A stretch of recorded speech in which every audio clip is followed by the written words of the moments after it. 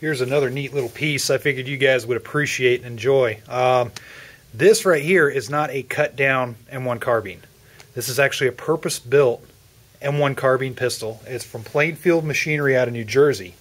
And it's basically an M1 carbine that was built, ground up as a pistol, has a 9 inch barrel on it. It's legally a pistol.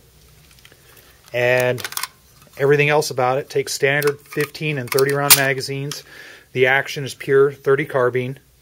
This is a first uh, first run, first year production model right here, and I think it's just a neat little uh, neat little shooter.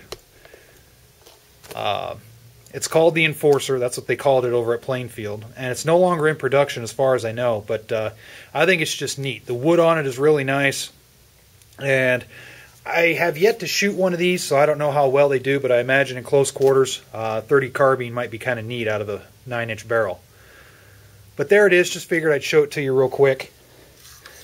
And again, this is Plainfield Machinery. It's out of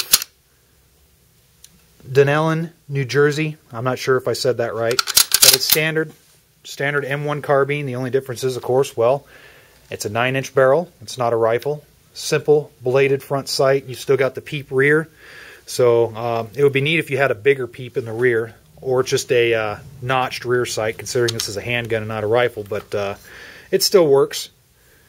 All wood for the stocks, and just a neat overall design. So right, there it is, kind of one of the quirky little firearms you don't see a lot of.